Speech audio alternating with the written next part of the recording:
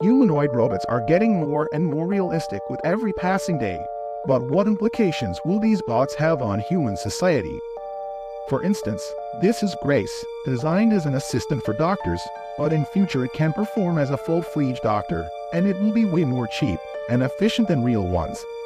This is Ameca, perhaps the only bot which is closest to humans in terms of movement, expressions, and speech. It can be used just about anywhere.